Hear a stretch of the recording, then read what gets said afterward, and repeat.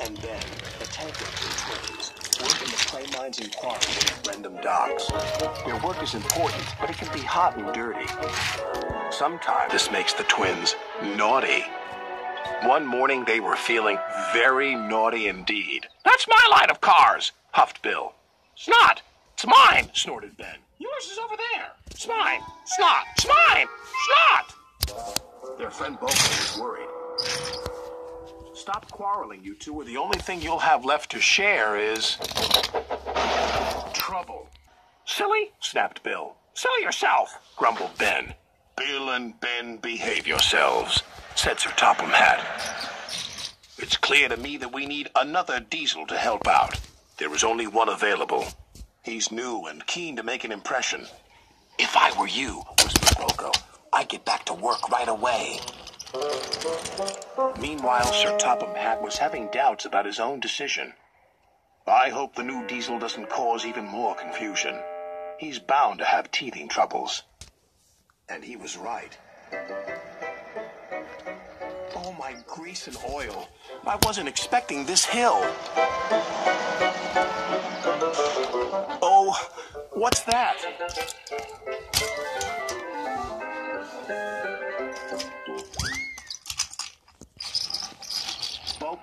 Came to the rescue.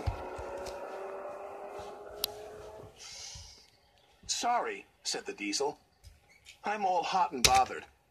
I've got teething troubles, you know. The news soon spread. Apparently it's teething troubles, confided Thomas to Percy.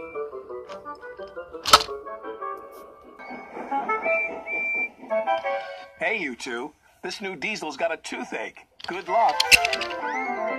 Does Percy want to wish us good luck? asked Bill. Because he knows we'll need it. A diesel with a toothache must be the worst diesel of all. Then their manager spoke to them.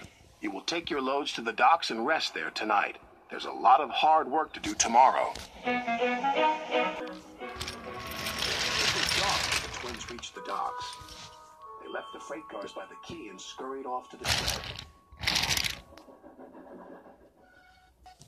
You do look glum, sighed Duck. It's the new diesel's fault, replied Bill. He's got a toothache. He hasn't got a toothache, he's got teething troubles. That means he's new, and this causes some problems. In his case, it's his cooling system. Next morning, the twins heard an unfamiliar whistle. Oh no! It's the new diesel! It was. Hello. I'll soon sort this train out. You take the front and I'll push from behind. what fun! All went well as they set off.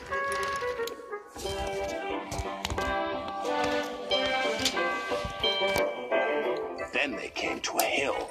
Come on! Come on! Push harder, you silly diesel! shouted Ben. But the diesel couldn't push any harder. I'm overheating again. Oh, Pa! snorted Bill. You know what? sighed the driver. Let's try and finish the journey anyway. It means we'll have to pull the diesel as well. Can you do it, twins? We'll try! And sure enough, they could.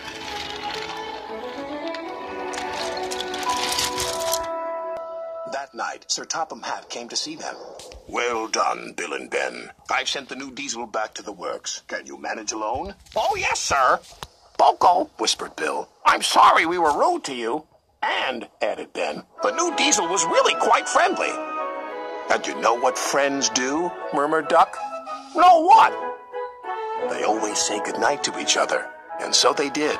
But they still chatted about the diesel and his teething troubles all night long.